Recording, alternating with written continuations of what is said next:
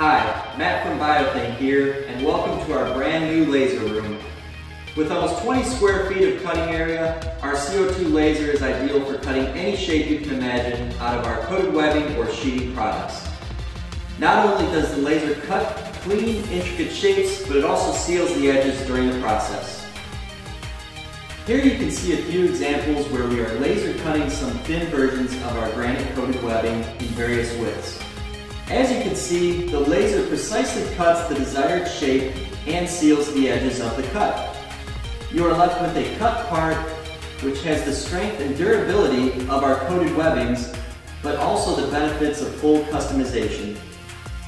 These parts can be designed to be fire retardant, resistant to certain chemicals, meet certain tensile strengths. We can also work with you to meet your requirements. A part like this would be perfect for a MOLLE attachment on a belt or backpack, knee or elbow pads, or anything else you can imagine. If you are interested in developing your new custom-made laser cut parts, contact us today.